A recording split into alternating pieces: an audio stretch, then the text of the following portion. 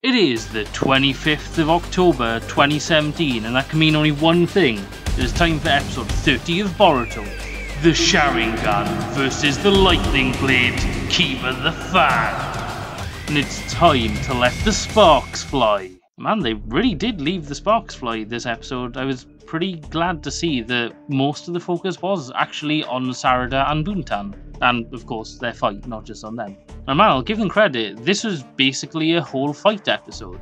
There were one or two little scenes, but honestly, the amount of focus on Sarada and Buntan was really cool. I also like the fact that Buntan was actually given some backstory, and just for clarity, I did actually have to look up the episode description to find out her name, because they'd mention it like once or twice, I think, but it's a bit weird to have Sarada fight someone who, honestly, her name isn't that well known. But as I mentioned with the backstory, she did mention that she is the daughter of Raiga Kurosuki. Now, I'll admit, I don't remember much about him. I think he was a filler episode because I vaguely recognise his face. This is him here.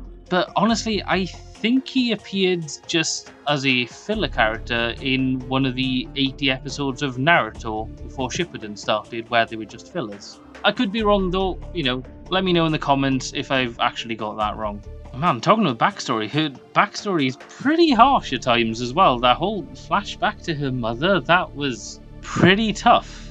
I'm sure they'll maybe expand upon it, maybe next episode, or maybe in a few episodes' time. And the, the fact that she's given some backstory does suggest that maybe she'll become a character that we see later on. Either that, or they really are trying their best to make even the filler characters not feel like two dimensional filler characters. So, either way, I approve. I would really like to see maybe her come back later on, maybe as a kind of sand trio kind of thing where they were originally the enemy but then they become kind of allies through time. Who knows though. And I gotta say, I was really impressed with Sarada this episode. She only recently awoke a Sharingan, but already she can use this Genjutsu ability, which, you know, wasn't fully developed, but she gave it a shot, and she was able to copy Buntan's electricity ability and stuff. The fact that she can do this after a couple weeks of awakening her Sharingan is pretty darn cool. And man, the way she finished Buntan off was fantastic.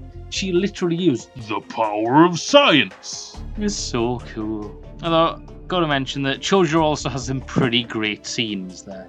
As predicted, he completely owned those three that captured him, and he did all of that whilst wielding a broken sword.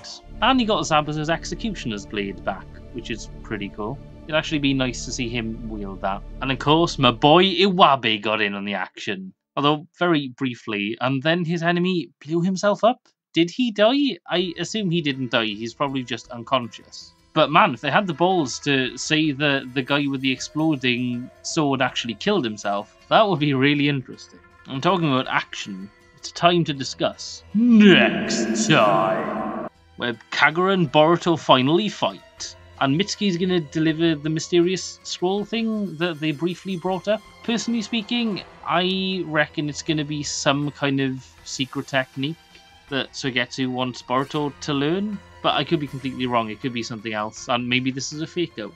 Who knows? And that about wraps it up for this review of episode 30 of Boruto. Thank you as always for making it this far.